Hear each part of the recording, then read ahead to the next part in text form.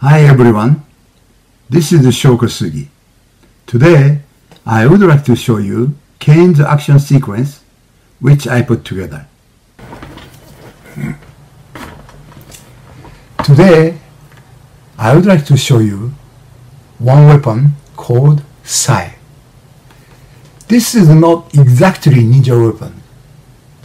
Made in Okinawa, that's I heard, according to history book.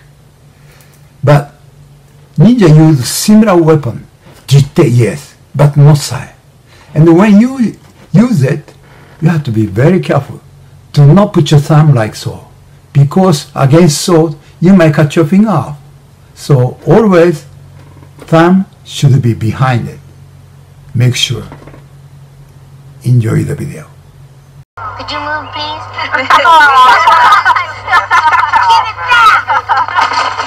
for it. Eye